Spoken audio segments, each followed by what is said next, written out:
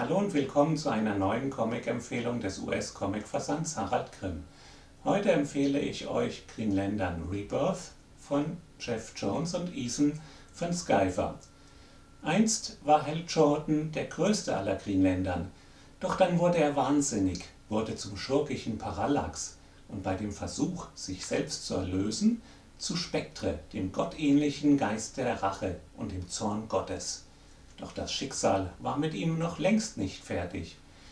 Green Lantern Rebirth erzählt, wie ein furchtloser Mann versucht, sein Leben neu aufzubauen und wie dadurch eine Bedrohung aus den Weiten des Universums in Gang gesetzt wird.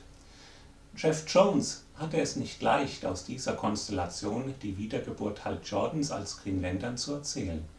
Doch ihm gelang mit Green Lantern Rebirth ein Meisterstück, das nicht nur die Lantern-Fans verzückte, und das Ethan van Skyver zeichnerisch gekonnt in Szene setzte.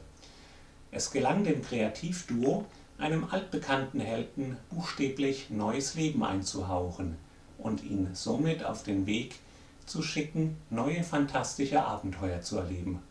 Na, da bleibt mir doch nur noch übrig, euch wie immer viel Spaß beim Lesen zu wünschen.